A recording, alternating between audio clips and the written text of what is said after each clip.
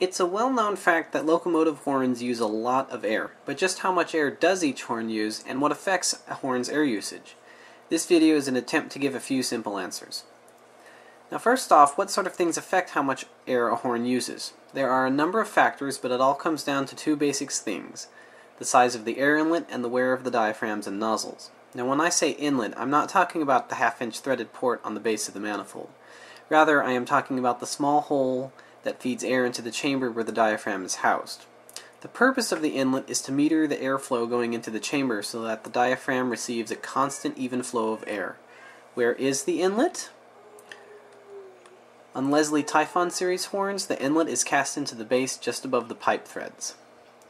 On Wabco E2 and many other Wabco horns, the inlet is drilled into the chamber wall above the side air ports. On M horns, the inlet is drilled into the base of the head.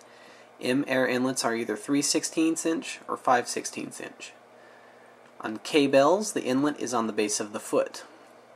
On P bells, the inlet is the same as on the K bells. On Leslie Supertyfon bells, the inlet is a pin that is attached to the bell that slides through the manifold and protrudes into the chamber. The hole in the middle of the pin is the inlet. This pin is called the dowel pin. The bigger the inlet, the horns becomes louder, harsher, and will use more air. In the interest of keeping the video introduction short, I have moved most of the information on inlets to the video description, but please check it out. Now I mentioned before the wear on parts. Worn nozzles and diaphragms will use more air than new diaphragms and new or remachined nozzles. Also, all other factors being equal, a 3-chime horn will use less air than a 5-chime horn of the same type. So in this video I have five horns, a Wabco E2, a Leslie Variable Orifice S5T, a Nathan M5, Nathan K5, and Nathan P5. For each horn I start with a 20 gallon tank at 120 psi and hold the valve open until the air gauge needle hits 30 psi. The comparison here is how long it takes each horn to go through this pressure range. I recorded these clips using two cameras, one watching the air gauge and one outside the car at a quarter mile away. Now, on two of the clips, the air gauge camera stopped recording midway through, so in those instances, I took a picture of the air gauge after I closed the valve.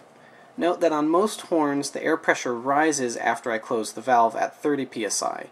This is typical. Also, note that this is not a comparison of how loud each horn is. The wind caused several of the clips to be quieter than they actually were. Believe me, the Leslie S5 is much louder than the Nathan K5.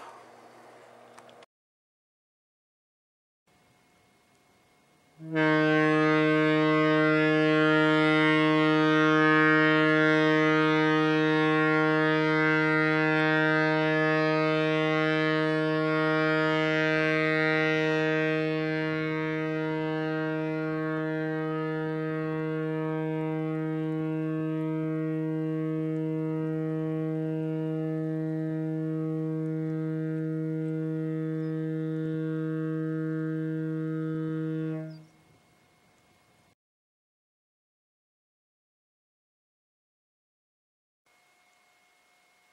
you.